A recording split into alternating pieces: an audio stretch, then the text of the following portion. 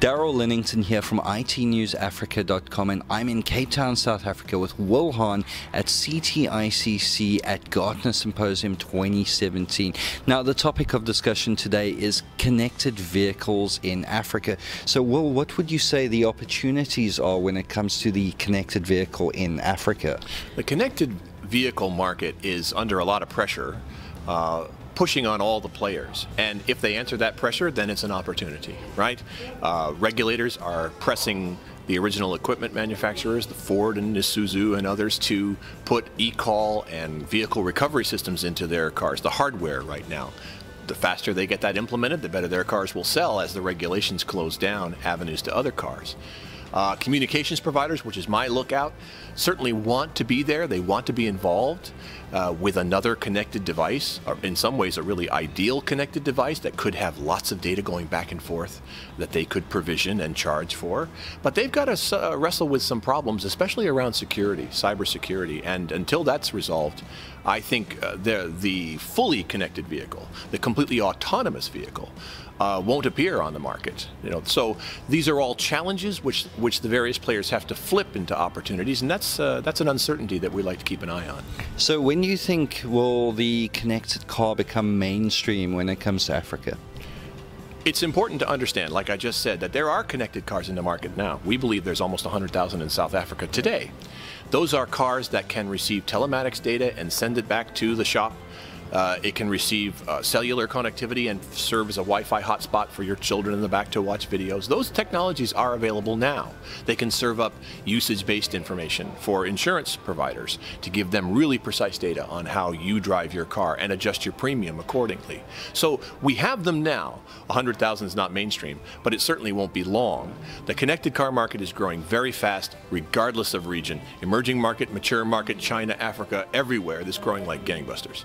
So you mentioned some of the challenges that some of the industry leaders will be facing. Uh, could you highlight some of the major challenges? Well, as I said, the communications providers have got to address cybersecurity. I believe they're the ones in the best position to do so because they really need the car to provide a, an added source of growth and to extend their uh, brand reputation with consumers. But as long as these incidents of hacking and ransomware and, and God forbid, you know, control of an autonomous vehicle could fall into the hands of a bad actor, uh, we won't see the autonomous car anywhere. So they've really got to address that. Someone does. And if the CSPs don't do it, then shame on them because I think they really have the opportunity to step ahead and do it. That's one example of a really big pressure on these players that needs to be addressed. Uh, another one would be uh, for the parts manufacturers who are really bringing together ever more complicated systems into the car all the time. And you test it and you test it, but things slip through. We find these complex system failures, glitches, requiring recalls. It's very expensive, very embarrassing, damaging to the brand. So that's another kind of challenge that uh, another member of the ecosystem has to address. So just to finish things off, where do you see connected cars in Africa in, let's say, the next five to 10 years? Well, as I said, it's growing fast in every region, so Africa will get increasing numbers of connected cars. The question becomes a kind of split between hardware and software. It will be embedded in the vehicle, but what will service providers, including communication service providers, do with that opportunity? People have to be convinced that uh, geolocation or Wi-Fi connectivity hotspot is useful to them in the car before they're willing to spend money. And the business models are going to come under scrutiny. Everyone's got to get to work to encourage people to make use of the connectivity that is probably in your car right now or could be very easily added to your car right now in a service layer that is appealing and really answers people's uh, needs and preferences.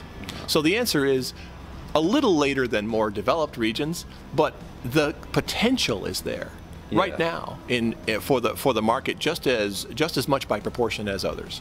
So there we have it, everything you need to know about the connected car in Africa. Thank you very much for your time, Will. Certainly.